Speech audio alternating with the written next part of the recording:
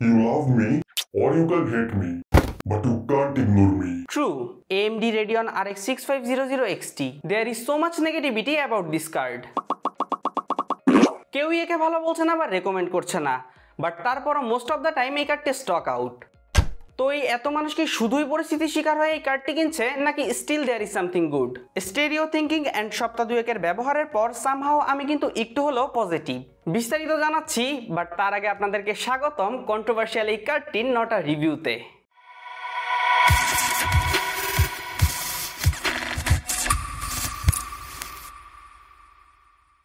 প্রথমেই ধন্যবাদ জানাই ASRock Bangladesh and Startech rig হাউসকে for sending us a review in ছাব্বিশ হাজার টাকার আশেপাশে অ্যাজরক ফ্যান্টম গেমিং সিরিজের R X six five zero zero XT কার্ডটি পেয়ে যাবেন স্টারটেকে well start with packaging main বক্সের ভেতরে সেকেন্ডারি বক্সে বেশ সেফলি পলি মোড়ানো থাকে জিপিউটি সাথে বক্সে আরও থাকছে user manual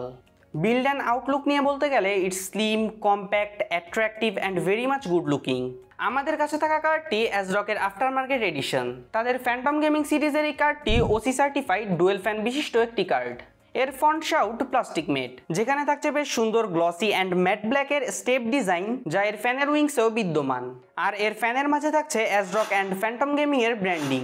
হোয়াইট কালারে প্রিন্টেড এই একই ব্র্যান্ডিং থাকছে এর সাইড প্যানেলে সাথে এইট পিন কানেক্টর আর এর ব্যাক প্লেটটি অ্যালুমিনিয়ামের রেড অ্যান্ড গ্লসি ব্ল্যাকের কম্বিনেশনে বেশ গর্জিয়াস ছিল এই অংশটি। ওভারঅল কোনো প্রকার আট জিবি লাইট না থাকার পরও বেশ সলিড একটা গেমিং ভাইব প্রোভাইড করতে পেরেছে এটি। অ্যান্ড আমার কাছে পার্সোনালি মনে হয়েছে এই কারটিতে সিঙ্গেল ফ্যান থাকলেই হতো। কারণ এর মেইন বোর্ড থেকে আরও ফোরটি পার্সেন্ট অংশ অযথায় এক্সটেন্ড করা হয়েছে। বাট তবুও ভালো, এটা ট্রিপল ফ্যান এডিশন না।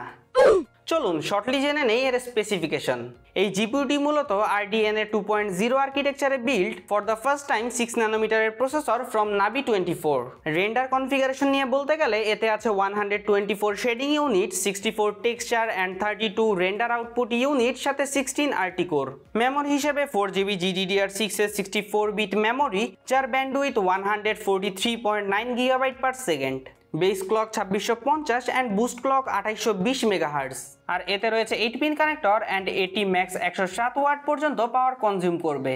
ভিডিওর পরবর্তী অংশে যাওয়ার আগে আমার সেট সম্পর্কে আপনাদেরকে একটু ধারণা দেই। এই জিপিউটি ইউজ করা হয়েছে B four five zero Tomahawk max মোবোতে যেখানে প্রসেসর হিসাবে থাকছে রাইজন ছত্রিশশো এবং র্যাম হিসাবে করশেয়ারের বত্রিশশো মেগাহার্জের এইট জিবির দুটি স্টিক এখন প্রশ্ন হলো why too much hatred উত্তর হিসেবে আমি আমার সপ্তাহখানিকের ইউজিং এর পর মূলত পাঁচটি কারণ পেয়েছি। এক একে বলছি। Number one not as good as the previous version প্রায় বছর তিনেক পুরনো এর predecessor R X five five zero zero XT থেকে কমেছে এর stream processor memory bus and memory bandwidth that's a drawback but যদিও বেশ ইমপ্রুভ এসেছে এর memory speed clock speed and infinity cache number two PCI four by four memory interface না এটা এই কার্ডটির কোনো ড্রব্যাক না। But the fact is PCI express four supported মোবোগুলো বেশিরভাগ ইউজারদের কাছে অ্যাভেলেবল না। আবার বাজেট পিসি বিল্ডগুলোতে পিসিআই ফোর সাপোর্টেড মাদারবোর্ড ব্যবহার করাটাও কিছুটা ওভারকিল আমার মতে এই জিপিউতে bus interface PCI express four থাকায় অনেকেই তার পিসির অন্যান্য কম্পোনেন্টের সাথে একটা ফাইন টিউনিং মিস করবে। Number three a massive one no dedicated encoder এর কোনো প্রভাব গেমারদের উপর না পড়লেও সাইক্লোন বয়ে যাবে যারা কিনা প্রোডাক্টিভ বা স্ট্রিমিং এর কাজে এই জিপিউটি ব্যবহার করবেন। স্ট্রিমিং এর ক্ষেত্রে ওবিএস স্টুডিওর মতন সফটওয়্যারে প্রবেশ করলেই fifty percent FPS drop like unplayable situation অ্যাডোবির মতো সফটওয়্যারে রিয়েল টাইম প্লেয়িং এবং rendering three X slow so hardware base encoding না থাকায় it's a curse for productivity and streaming number four very poor ray tracing although এই কার্ডটি সব থেকে কম বাজেটে রিয়েল টাইম এর মতো একটি হাই এন্ড ফিচার নিয়ে এসেছে বাট দ্য ফ্যাক্ট ইস একেবারে ইউজফুল না হওয়ায় it's a defect number five